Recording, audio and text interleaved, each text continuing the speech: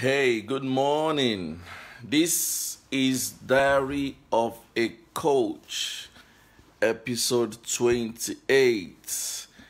It's a lovely day. You know that some people, the only smart devices they know how to use is their phone. A coach would have a brief, say a, con- a, a client contacts you and the only way you can sign a contract is to send a WhatsApp message or send an email on your smartphone. Sometimes people tell me because my background is computer science that I have an edge that that is why I have a head start when it comes to utilization of devices. I will not argue. I think that's correct. I have an easier head start because I come from a computer science background. However, in this age and time, a coach must be able to use smart devices. So, the title of episode 28 says, Learn to use a computer and other smart devices. Learn to use a computer and other smart devices. I mean, let me ask you if you were to write you know like like on this wednesday this coming wednesday i'm going to be teaching a course on how to develop coaching content and coaching course. So if you were to develop a coaching course how would you put together your content? If i gave you a laptop now as a coach as a practicing coach would you be able to sit down and use any of the word processing applications and develop a comprehensive document would you be able to type a document, copy from an external source, paste in your word processor, format it, align it, arrange it, and print it? Are you able to do that? Do you know how to use a printer? Have you touched a printer before? Can you can you can you manage a printing issue? Let's say you are printing a document and there is a jam. Can you ordinarily at the first level try to even decipher what went wrong. Let's say you want to print and the printer is not responding. Are you able to determine which printer am I printing to? Why is it not responding? Are you able to save documents from one format to the other? For instance, from Word or PowerPoint or Excel to PDF? Are you able to transfer documents from one drive to another drive, from one folder to another folder?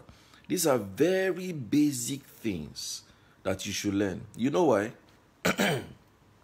Somebody like me now, I have staff. I can say, well, anything I can delegate my staff to do it. Oh, so so person, please help me do this. Oh, so so person, please help me do this. While I'm here, I can I can hire anybody, pay anybody to do it for me. You know, right?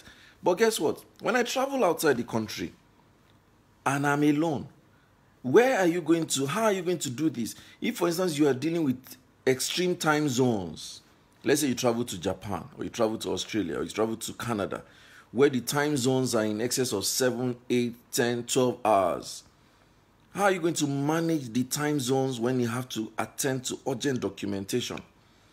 So the need to understand and learn how to use smart devices is very essential. You as a coach should be able to sit down and use a computer effortlessly. Let me even ask you do you have a laptop? Do you have a computer? Do you have a device that is a word processing device that is not your mobile phone? You know, in this age and time of so many apps, there are invoices online, there are receipts online, there is everything in the cloud, accounting system online downloadable documents that are templates you can just edit and just format and convert to PDF on your mobile phone, bah, bah, bah, and you're gone. Smart options, I agree, very true. But when the chips are down, can you use your computer to create a document? Can you use your computer to create correspondences? Can you use your computer to do magic? Are you able to use PowerPoint? Are you able to use Canva? Are you able to use different applications on a computer? This, you see, this episode is so basic and so trivial. It looks like, well, why do I need a computer? I can say categorically that when the chips are down, your need to use basic tools will be tested.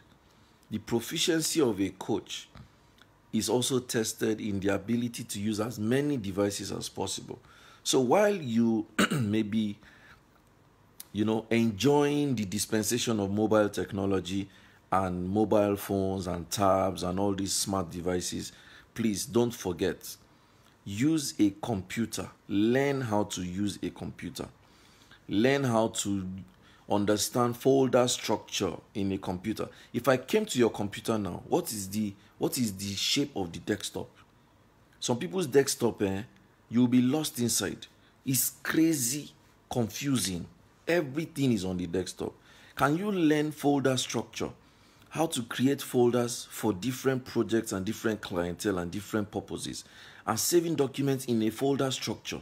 Can you determine how to aggregate and segment data and put them in different structures that makes it understandable. These are very basic things that helps you with decluttering. So a good coach should be able to one use a computer well the hardware itself. Two learn to use computer applications on the computer.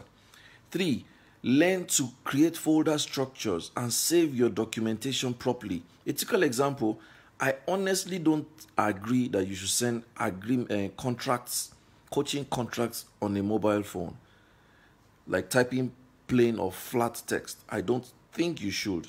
I think you should have an agreement in a word processing document like Word that you can edit and save as the client name and save a PDF copy and email a PDF copy to the client.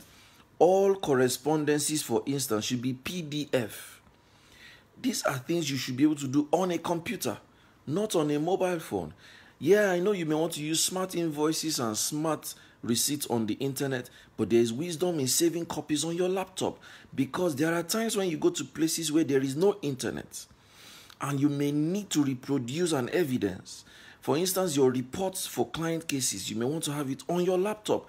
As much as the internet is available and a smart option, please don't forget that the laptop or your computer is a proper formal approach that you should not discard.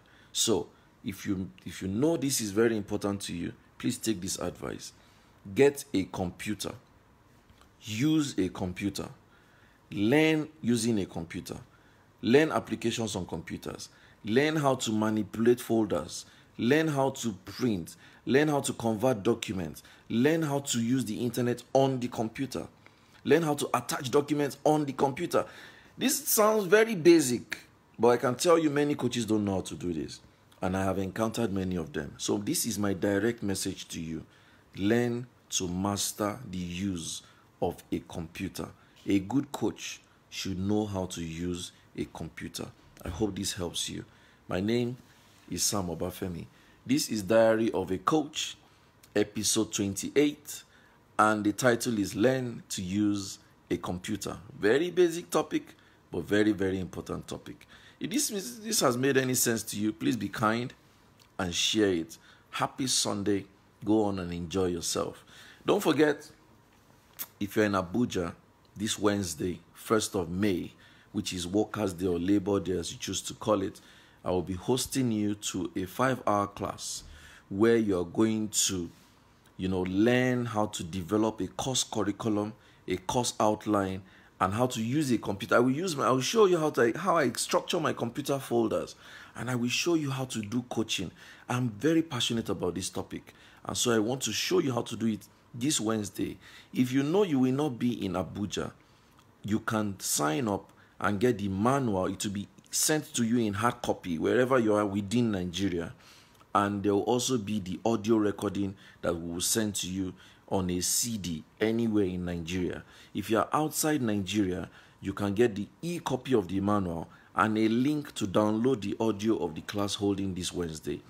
Absolutely available for everybody. So, if you know you're a coach, you're a trainer, you're a consultant, you're a therapist, you're a, a HR manager, you're anything that has to do with people, this is a class for you. There are exactly six slots left. So, if you can pay up and sign up right now, you will get everything you need. So, drop a comment in the comment section and you will be contacted immediately. Thank you for watching my video. Shegun Oshidipe. I don't come back from church. Soma Keeper, good to see you. Stella, good to see you. Okeke Henry Ugo, good to see you. Lide, good to see you, my brother. Yes, thanks for your comments. Nson said, I was going to send a form to a client through my smartphone on Monday. Thank you for this message. It's fantastic. Please, as much as it's okay to be smart, let us also be very careful about being traditional. Computers are very important in all our transactions. Always have a copy of anything you do on your computer because there may not be internet everywhere you go and you may need to have access to your documentation. Learn to use a computer. I'm out.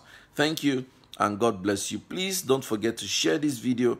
I really would love to have you share this video. On episode 30, which is two episodes away, I'm going to give a copy of my new book, But What Do I Know? One copy to a lucky winner. So on episode 30, we'll know how to win a copy of my new book, But What Do I Know? Thank you and have a wonderful Sunday. Bye.